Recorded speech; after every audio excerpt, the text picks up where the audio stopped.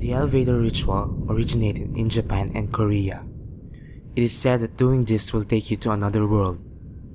To play the game, enter your chosen building and get into the elevator on the first floor alone. Do not proceed if anyone else is in the elevator with you.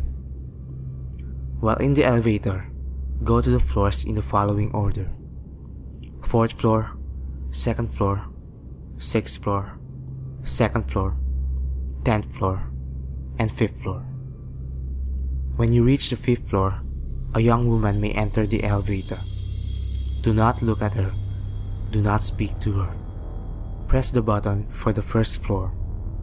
If the elevator begins ascending to the 10th floor, instead of descending to the first, you may proceed.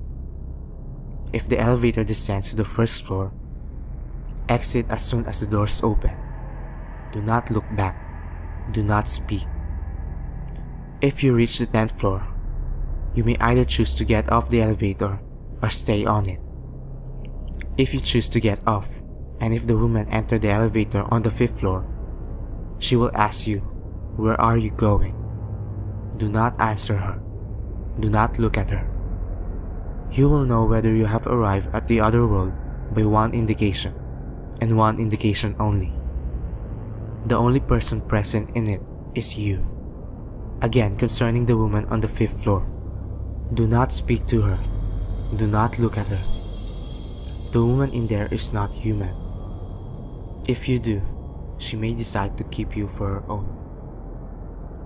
Kuchisake Onna, also known as the Slit-Mouthed Woman, is a Japanese urban legend about a disfigured Japanese woman who brandishes a large scissors and preys on children. She has an enormous slit mouth which extends from ear to ear in a horrible permanent smile. The woman walks the street of Japan wearing surgical gloves and hunting for children. If you cross her path, she will stop and ask you a question. Am I beautiful? Before you can answer, she will tear off her mask, revealing a hideously deformed face.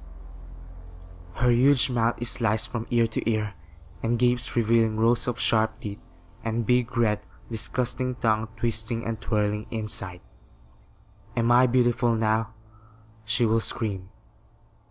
Now if you answer no, she will pull out a huge pair of scissors and will kill you immediately chopping off your head. If you say yes, she will take her scissor and will slice your mouth from ear to ear, making you look like her. If you try to run away, she will hunt you down and kill you, slicing you in two. Legend says there's an escape. If you say you look average or you look normal, she will be confused giving you just enough time to run away. The Bat Game, or Daruma-san, is a paranormal ghost game that originated in Japan. The game involves summoning a ghost that will follow you all day. The objective of the game is to evade the ghost and prevent it from catching you. To start, begin at night, just before you go to bed. Shed your clothing and enter the bathroom. Fill the bathtub with water and turn off the lights climb into the tub and sit down facing the faucet and taps. Close your eyes and begin washing your hair. As you wash your hair, repeat the words, Daruma-san fell down. Daruma-san fell down. Do not stop repeating them until you have finished washing your hair. Do not open your eyes. If you have performed this action correctly, you will gain a mental image of a Japanese woman standing in the bathtub. She will slip and fall, landing face first on a rusty tap and gouging her right eye out. Should you hear any noise behind you or feel any movement in the tub, do not turn around and do not open your eyes. Ask aloud, why did you fall in the bathtub? Allow the question to hang in the air. Then keep your eyes shut. Carefully stand up and get out of the tub.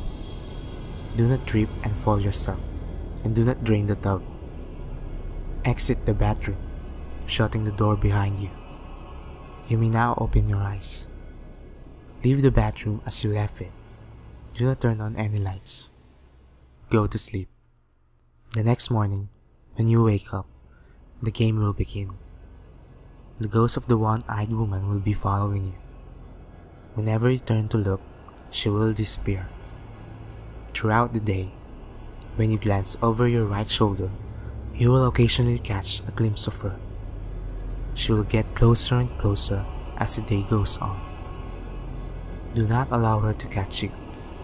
If you glance over your shoulder and see that she is way too close, you should shout, Tomare, which means stop. Then run away as quickly as possible. This will allow you to put some distance between yourself and the one-eyed woman. To end the game, you must catch a glimpse of the ghostly woman and shout, Kita, which means I cut you loose. Then hold out your hand in front of you and swing it down in a cutting motion. You should end the game before midnight. Otherwise, the one-eyed woman will appear in your dreams and follow you. The midnight game is an old pagan ritual used mainly as punishment for those who have broken the laws of the pagan religion in question. To play the game, you must exactly start at 12 am when you begin performing the ritual. Otherwise, it will not work. You will need a candle, a piece of paper, a pen, matches or lighter, salt, a wooden door, and at least one drop of your own blood. Write your full name on the piece of paper. Put at least one drop of blood and allow it to soak into the paper. Turn off all the lights in the place you are doing this. Go to your wooden door and place the paper with your name on it in front of the door. Now, take out the candle and light it. Place it on top of the paper. Knock on the door 22 times. The hour must be 12 a.m. upon the final knock. Then open the door, blow out the candle, and close the door. You have just allowed the midnight man to enter your house. Immediately relight your candle. This is where the game begins. You must now lurk around your now completely dark house with the lit candle in your hand. Your goal is to avoid the midnight man at all costs until 3.33 am. Should your candle ever go out, that means the midnight man is near you. You must relight your candle in the next 10 seconds. If you are not successful in doing this, you must then immediately surround yourself with a circle of salt. If you are unsuccessful in both of your actions, the Midnight Man will create a hallucination of your greatest fear and rip out your organs one by one. You will feel it, but you will be unable to react. If you are successful in creating the circle of salt, you must remain in there until 3.33 am. If you are successful in relighting your candle, you may proceed with the game. You must continue to 3.33 am without being attacked by the Midnight Man or being trapped inside the circle of salt to win the midnight game. The Midnight Man will leave your house at 3.33 am and you will be safe to proceed in the morning. In addition, indications that you are near the Midnight Man will include sudden drop in temperature, seeing a pure black humanoid figure through the darkness, and hearing very soft whispering coming from an indiscernible source. If you experience any of this, it is advised that you leave the area to avoid the Midnight Man. There are several precautions during the game. Do not turn on any of the lights on during the midnight game. Do not use a flashlight during the midnight game. Do not go to sleep during the midnight game. Do not attempt to use another person's blood on your name. Do not use a lighter as a substitute for candle. It will not work. And definitely, do not attempt to provoke the Midnight Man in any way. Even when the game is over, he will always be watching you. The one man hide and seek, aka the one man tag, is a ritual for contacting the dead. In this ritual, you will summon a spirit by offering a doll instead of a human body. To start the ritual, first, you'll need a stuffed doll with limbs, but not a human doll, as there's a huge chance the spirit will not leave it. If you have an animal doll with limbs, it can be used as well. Rice that will be used to stuff your doll The rice is said to attract spirits. Something from your body, usually fingernails for the doll to represent you. This means that if you do something to the doll, the same thing will happen to yourself. Never use someone else's body parts. This results in the doll replacing that person instead, and the game will not work correctly. A sharp edged object to anger the spirit in the doll by stabbing it. Be sure not to use a knife or scissors, as the doll will possibly stab you with it after it finds you, so use a pencil or a needle instead. It is recommended to use a wooden toothpick. A red thread to sew up the hole you made in the doll. This later symbolizes blood vessels and acts as a restraint later in the game. Salt water or salt. This will be used later in the game to get rid of the spirit in the doll a bathtub with water. If your home doesn't have one, a basin large enough to put the doll in the bathroom works too. A very safe hiding spot. If you have a room with statues and things related to your religion, it is recommended to make it as your hiding spot. To begin, give your stuffed doll a name. Cut the doll open and take all of its stuffing out. Put the rice in the doll as well as the part of your body. Sew the doll back again and wrap the remaining red string around the whole doll. This is important as it binds the spirit. Prepare the bathtub by filling it with water and then wait until 3 a.m. Remember to turn off all lights in the house, but leave only the television on as it will change depending on the location of the doll. Once it is 3 a.m., take the doll along with you to the bathroom and say you're the first tag three times. Then place the doll in the bathtub. Walk away to another room but do not look back.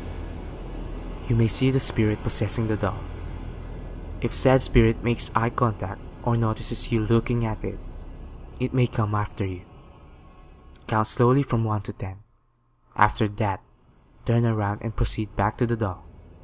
Go close to the doll in the bathtub and say you found it, and then stab the doll with your weapon.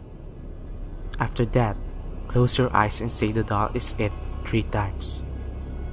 Leave the object inside the doll, then pour some salt water in your mouth. Do not drink the salt water, as it protects you from the spirit in the doll, and you will need the remaining salt water to end the ritual. Bring along the cup of salt water and go to your hiding place. It is recommended to keep your doors and windows unlocked in case you unexpectedly run into some trouble. It is recommended to have a cell phone on silent mode and brightness on the lowest level in case of emergencies. Keep the salt water in your mouth at all times. Never attempt to swallow. Remain silent when you are hiding as any sounds from you will alert the doll where you are. If the dog finds you, it will stab you with the object you stab it with, then possibly possess you as well. Keep salt water near at all times. Ending the ritual is very important, as this will end the game as well. To end the ritual, get out of your hiding spot, find the doll, it may not be in the bedroom, and then drink the salt water. Pour the remaining salt water around the doll in a circle as well. Close your eyes and shout out, I win, three times. The spirit in the doll will give up, and the game ends. You must dispose of the doll by burying it with salt. Otherwise, the spirit will attempt to re-enter the doll. Some versions say to put salt in every corner of your house after you bury the doll, especially where the doll has been found, as salt drives away most malevolent spirits.